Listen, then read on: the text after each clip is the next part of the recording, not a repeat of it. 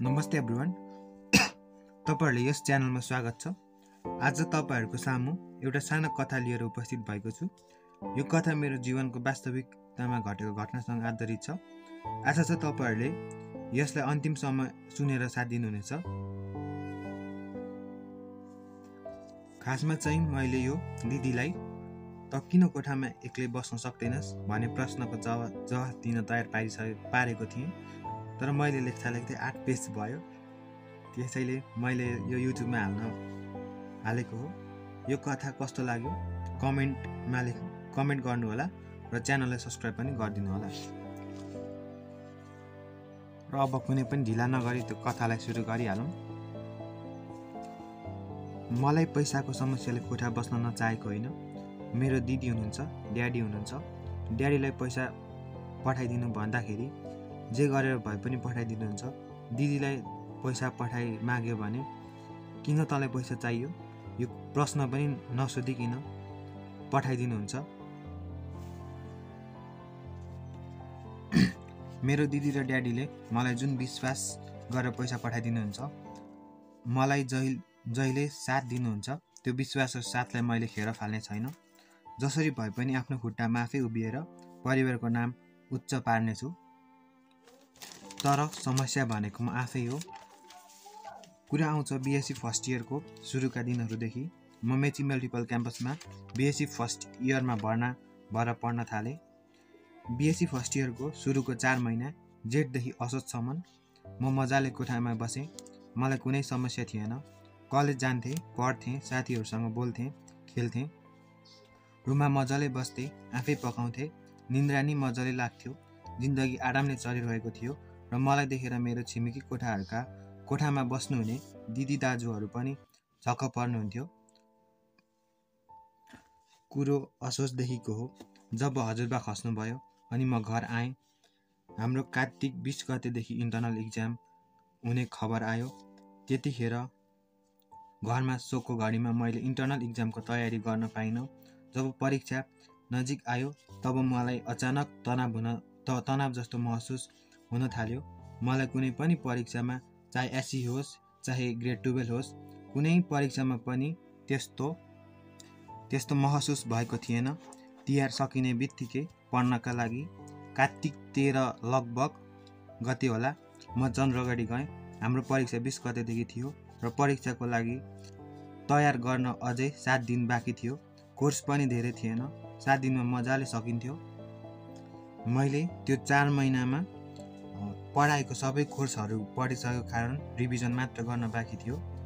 म पढ्न बसेँ तब मलाई केही आएन। मैले त्यो सबै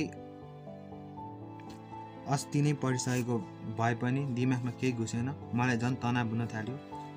अनि इक्जामको तिन चार दिन बाँकी हुँदादेखि निन्द्रा नै लाग्न छोड्यो। लाग्थ्यो। निन्द्राले मसँग ब्रेकअप नै हाने जस्तो लाग्थ्यो। मलाई पेटमा पनि समस्या हुन थाल्यो भोक पनि लाग्न छोड्यो। म कोहीसँग पनि बोल्न छोडेँ रिस मात्र उठ्न थाल्यो। मेरो अनुहारमा हँसिलो पनि थिएन जहिले मेरो मुड स्याड हुन थाल्यो। मैले त्यो बिस गतेदेखिको परीक्षा एक मिनट पनि नदि नदिँदाइकन दिएँ। मलाई सुरुमा त परीक्षाको तनावले निन्द्रा लागेको नलागेको होला। अब परीक्षा सकिएपछि त ठिक भइहाल्छु नि जस्तो लाग्यो। मैले मिल्ने साथीहरूले समस्या सुनाउँदा तिनीहरूले नि यसै भने। तर जब परीक्षा सकियो मैले सोचेको जस्तो भएन। झन् मेरो समस्या बढ्न थाल्यो। मलाई त्यसपछि झन् तनाव हुन थाल्यो। अनि अनि मात्र मैले मेरो दिदीलाई पहिला अनि ड्याडीलाई सुनाएँ। दिदी र ड्याडीलाई सुनाउँदा दिदी र ड्याडीलाई सुनाउँदाखेरि पहिले त कोही केही भएको होइन तँलाई। अलिअलि निन्द्रा त सबैलाई लाग्दैन नि भन्नुभयो। त्यसपछि परीक्षा सकेर चुनावको छुट्टी हुने भयो। छुट्टीमा म घर आएँ। घर आउँदा म ननिदाएको खबर सुनेर ड्याडी मम्मी स सबैको अनुहारमा टेन्सन देखेँ। मलाई झन् तनाव हुन थाल्यो। सबैले घरमा त यो पक्कै निदाउँछ। तल चन्द्रगढीमा एक्लै भएर ननिदाएको सोचे। मैले पनि त्यही सोचेँ तर त्यसो भएन। त्यसपछि सबै अचम्म त्यसपछि सबैले अचम्म माने अनि सबैले यसलाई हस्पिटल लानुपर्छ भन्ने सुझाव दिए। जब म चुनावको छुट्टी सकेर चन्द्रगढी गएँ त्यसपछि पनि मलाई ठिक भएन। मेरो त्यस्तो तेजिलो दिमाग सानैदेखि म्याथमा एकदमै जान्ने तर त्यस बेला मलाई पैँतिस रुपियाँको सब्जी किनेर पचासबाट कति फिर्ता हुन्छ भनेर नै क्यालकुलेट गर्न सकिरहेको थिएन। त्यतिखेरसम्म ममा आफैमा पकाएर खाने क्षमता पनि थिएन। सब्जी पकाउँदा कहिले तेल हाल्न कहिले तेल हालेपछि एकैचोटि मसला नहाले सब्जी हाल्थेँ त कहिले भात नै नबर्सिकन तातो तातो खान्थेँ। मैले हस्पिटल जानुभन्दा अगाडि मेरो साथीहरूलाई निन्द्रा नलाग्ने समस्या सुनाएँ। साथीहरूले तिमी एक्लै भएर निन्द्रा नलागेको एक्लै बस्दा बस्दा काम भनेकै पढ्ने अनि मोबाइल चलाउने हुन्छ।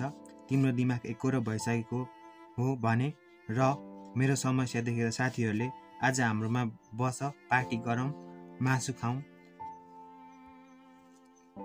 सुत्न पनि हाम्रैमा सुतौँ तै तिमीलाई निन्द्रा लाग्छ कि भन्ने सुझाव दिए।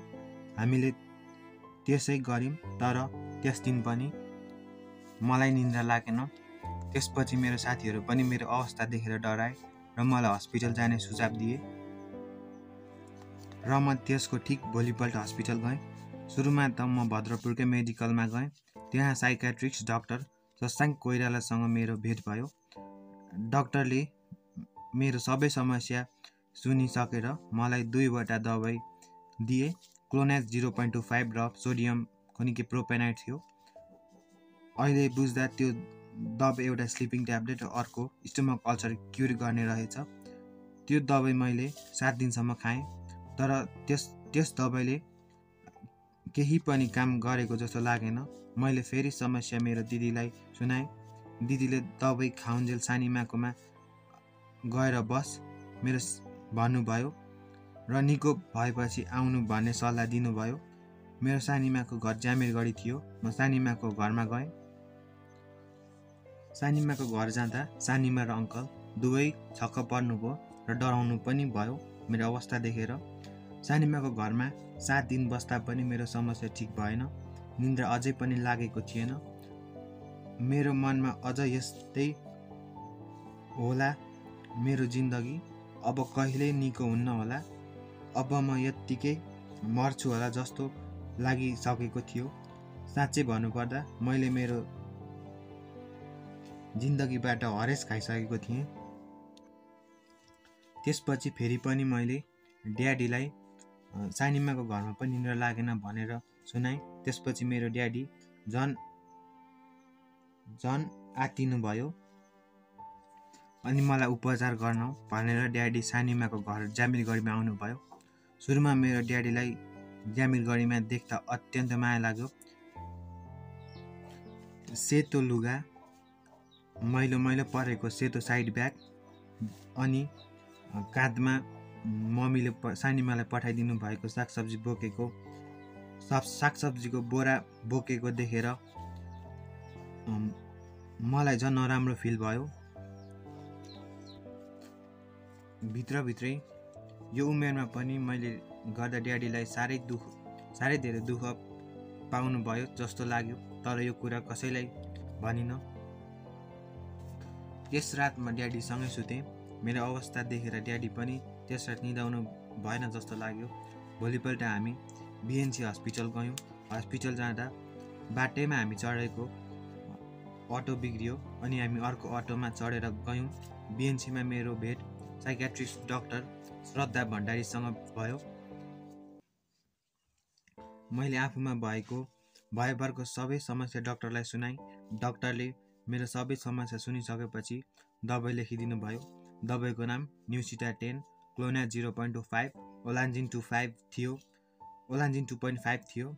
डाक्टरले एक महिनामा फलोअपमा आउनु भनेर भन्नुभएको थियो। डाक्टरले डाक्टरलाई भेटिसकेर दबाई किन्न गयौँ। दबाई किनेर हामी गाडी पर्खिन थाल्यौँ। ड्याडीसँग हाम्रो ड्याडी त्यहीँबाट घर जाने र म सानीमाकोमा जाने सल्लाह भयो। हजुरबाको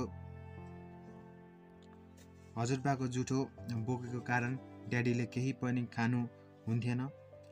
हामीले एक दर्जन कोला किनेर छवटा ड्याडीलाई र छवटा मलाई बाँड्यौँ। त्यसपछि आफ्नो दुवै त्यसपछि आफ्नो दबाई र छवटा कोला बोकेर म बसबाट सानिमाको घरतिर आएँ। ड्याडी बिर्ता मोडमा गाडी पर्खेर बस्नुभयो र ड्याडी ड्याडीले र गाडीले ढिलो गरेर राति नौ बजी मात्र घर पुग्नुभयो भन्ने खबर सुने म सानीमाकै घरमा बस्न थालेँ। दबाई खाएको पन्ध्र दिनमा पनि मलाई निको भएन र मैले घरमा नभनिकन डक्टरलाई मात्र म्यासेन्जरमा निन्द्रा नलागेको कुरा भने डक्टर त्यतिखेर छुट्टीमा हुनुहुन्थ्यो र हुनुहुँदो रहेछ र मलाई छुट्टी सकेर भेट्न बोलाउनु भयो र डक्टरलाई भेटेपछि तपाईँलाई निको पार्न पार्ने भनेको यही दबाई पार्ने दबाई भनेको यही हो। अब निको भएन भने दबाईको डोज बढाउनु पर्छ भन्ने सुझाव दिनुभयो। र मेरो दबाईको डोज बढाउनु भयो सुरुमा त मलाई दबाई खाँदा डक्टर त दबाई बेच्ने मात्र बेच्न मात्र बस्नु भएको रहेछ जस्तो लाग्यो निको नभएको देखेर। डक्टरले मेरो दबाई बढाउनु भयो र एउटा मिनिल ट्वेन्टी भने दबाई पनि थपिदिनु भयो र पन्ध्र दिनपछि फलोअपमा आउने सुझाव दिनुभयो। र मैले दबाई निरन्तर खाइरहेँ दबाई खाएको पन्ध्र दिन अनि एक महिनापछि बिस्तारै ठिक हुँदै गयो। त्यसपछि थर्ड फलोअपमा मेरो स्वास्थ्यमा सुधार आएको देखेर डक्टरले दबाईको डोज घटाइदिनु भयो र दबाई छ महिनासम्म खानु सुझाव दिनुभयो। दबाईले काम गर्न समय लाग्ने रहेछ तर सुरुमा त मलाई त्यस्तो लागेन।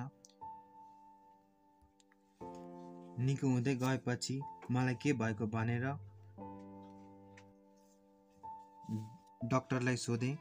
डक्टरले तपाईँलाई मन आतिने रोग एन्जाइटी भएको र सही समयमा दबाई खाएर निको भएको भनेर भन्नुभयो र त्यसपछि मेरो स्वास्थ्यमा सुधार आयो। मलाई भोक पनि मजाले लाग्न थाल्यो निन्द्रा पनि मजाले लाग्न थाल्यो सबै नर्मल हुन थाल्यो। म हाँस्न थालेँ रमाउन थालेँ। साथीभाइ साथीभाइ घर परिवारसँग घुलमिल हुन थालेँ सबै कुरा ठिक भयो। सबैसँग बोल्न थालेँ। मेरो वेट पनि fifty eight point fifty eight plus किलोको भयो। मेरो परिवर्तन देखेर सबै छक्क परे। घरमा सबै खुसी भए। त्यतिखेर मलाई पनि माया गर्ने मान्छेहरू रहेछन्। र मैले घर परिवार र साथीभाइको महत्त्व बुझेँ। म निको भएर नर्मल जिन्दगीमा फर्किनुको कारण मेरो ड्याडी दिदी परिवार साथीहरू र डक्टर सद्रा भण्डारी नै हुन्। म त्यस अवस्थामा हुँदा मेरो साथी र परिवार परिवारले जुन हौसला दिए र डक्टर श्रद्धा भण्डारीले जुन ट्रिटमेन्ट गर्नुभयो त्यो म जिन्दगीभरि भुल्ने छैन। र मैले समयमै आफ्नो कुरा सेयर नगरेको भए र समयमै हस्पिटल नगएको भए मेरो एन्जाइटी डिप्रेसनमा परिवर्तन हुन्थ्यो होला। र म यो संसारमा हुन्थेँ भनेर पनि नसोच्दा हुन्थ्यो होला। र मेरो जिन्दगी त्यो को लगभग तिन महिना एउटा निकै नै नराम्रो सपना सम्झेर भुल्ने निर्णय गरे गरेर आफ्नो जिन्दगीमा अघि बढ्ने निर्णय गरेँ। यो तिन महिना यो तिन महिनामा मैले धेरै कुरा सिकेँ। मैले मेरो परिवार साथीभाइको महत्त्व बुझेँ। मैले आफ्नो कुनै पनि समस्या लुकाउनु हुँदैन रहेछ भन्ने कुरा बुझेँ। सबैसँग हाँसेर बोल्नुपर्छ दुःखमा सहयोग गर्नुपर्छ भन्ने बुझेँ। जिन्दगी जस्तै सु जिन्दगीमा जस्तै सुकै समस्या आइलाग्यो भने पनि भगवान्ले त्यो सबै समस्याको समाधान पनि दिएका हुँदो रहेछन् भन्ने बुझेँ। हामीमा धैर्यता र आत्मविश्वास मात्र हुनु हुनुपर्ने रहेछ। हामीमा धैर्यता र आत्मविश्वास छ भने हाम्रो जीवनमा कुनै पनि कठिन समस्या आइलागे पनि हामीलाई केही गर्न सक्दैन रहेछ भन्ने बुझेँ। आशा छ मेरो यो सानो लेखन तपाईँहरूलाई तपाईँहरूलाई केही न केही त पक्कै लेसन दियो होला र मेरो यो सानो कथा आत्मकथा या त कथा कथा नै भन्दा पनि हुन्छ राम्रो लाग्यो भने कमेन्ट गर्न नभुल्नुहोला र सेयर पनि गरिदिनु होला धन्यवाद।